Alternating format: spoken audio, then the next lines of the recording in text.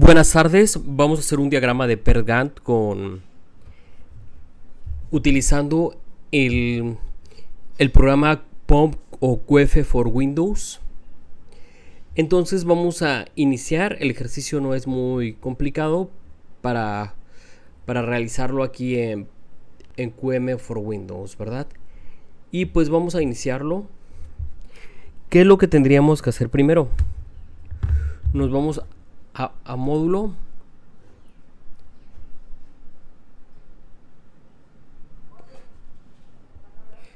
Nos vamos a proyecto PERT CPM ya teniéndolo así pues el ejercicio que vamos a hacer nosotros es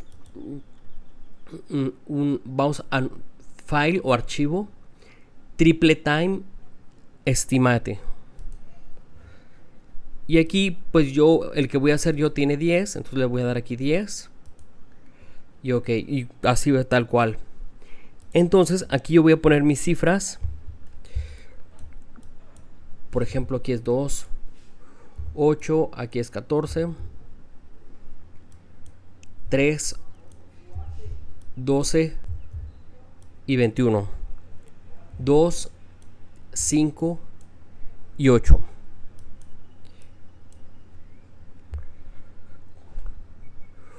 4, 5 y 12. 4, 5 y 12. Luego 1, 3 y 17. Luego es 2, 3 y 10. Luego es 3, 9 y 15. Aquí solo estoy poniendo los números. Luego 7, 8 y 9. Y ya en las últimas dos es 3, 11 y 13.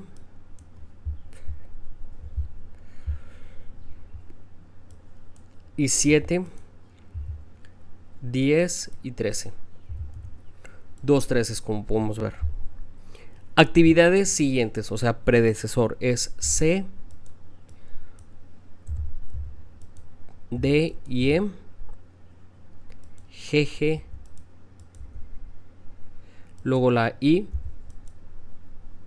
luego FIH, a ver de nuevo, CD, IE, luego GGG, luego I, luego FH, luego I nuevamente, luego la J, ¿verdad? Posteriormente, vamos a darle en Tools, y Solp.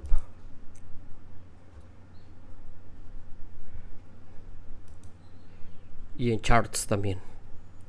Le di donde Charts, aquí está. Tú le doy aquí disminuir. Aquí podemos ver los, por ejemplo, voy a abrir un archivo de, de Excel.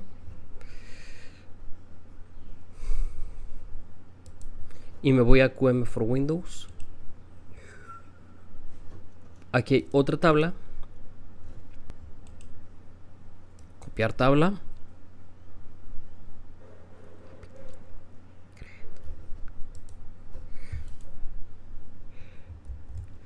El tiempo, el tiempo, el resultado del tiempo total va a ser igual suma y le damos clic 77 Aquí vemos las desviaciones estándar, las varianzas.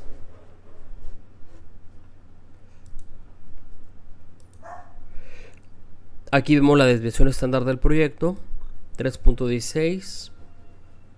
Sabemos que pues vamos a hacer, si nosotros sacamos la varianza es 3.16 al cuadrado. 3.16 al cuadrado nos da 9.98, por eso nos marca aquí que que la varianza es 10.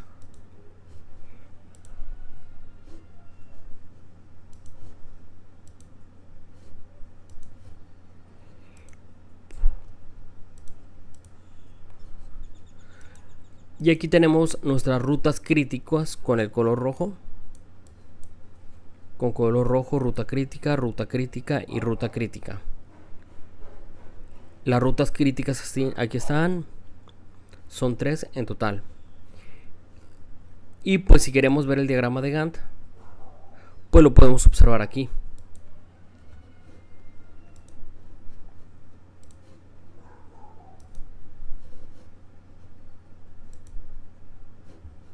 Y aquí nada más le estoy dando clic para que vean cómo mover un poco. Aquí están las desviaciones estándares.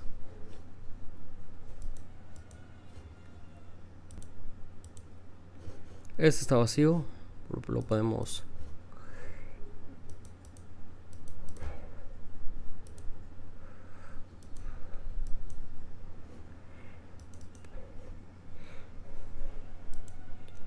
disminuir, aquí está este. Aquí están las gráficas, tiempo estimado, charts, tools.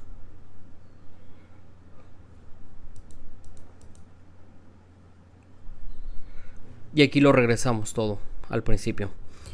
Aquí pues pues nada más lo regresé para que observaran cómo se puede regresar en caso que alguien quiera hacer una corrección en QM for Windows o POM como le le suelen llamar algunas veces.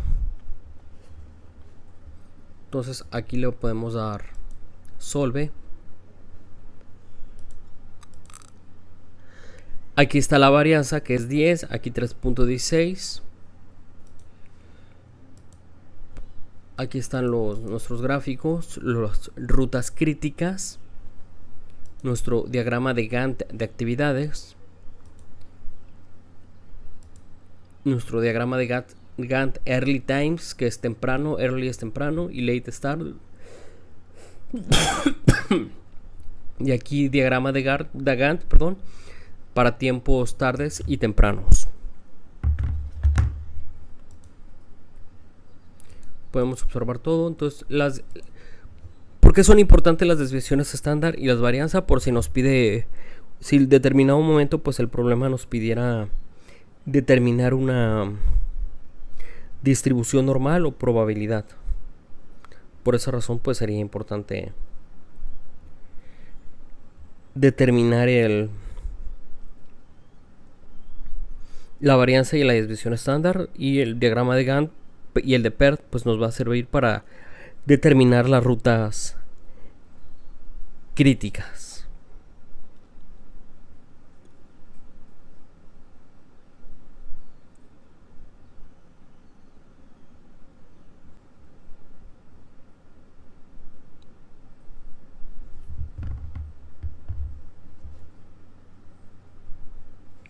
Y pues sería todo. Muchas gracias por su atención. Saludos.